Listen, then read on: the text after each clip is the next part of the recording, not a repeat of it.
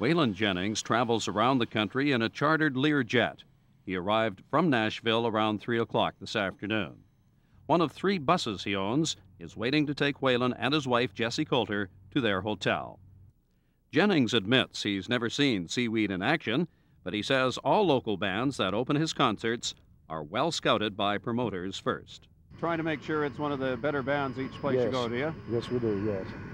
And they come highly recommended. So that's good. Little wonder C-Weed comes highly recommended.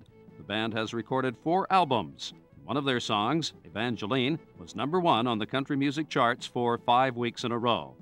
Errol Ranville and his three brothers from Eddystone, Manitoba, east of St. Rose, started the band 17 years ago. They've appeared with other big names in the past, like Juice Newton and Hank Williams Jr., but that was in American cities. As the huge stage at the Winnipeg Arena was being set up this afternoon, C-Weed's road manager, Norm Ranville, says appearing with Waylon Jennings is more significant because it will be before a hometown crowd. Well, we're all pretty excited about actually working with Waylon Would you consider it a big, same stage. big uh, break for the band then, Norm? Oh yeah, it sure is a big break for us. It'll, things like this always make a big difference, and uh, has been has made a big difference in our career in the past. Anyway,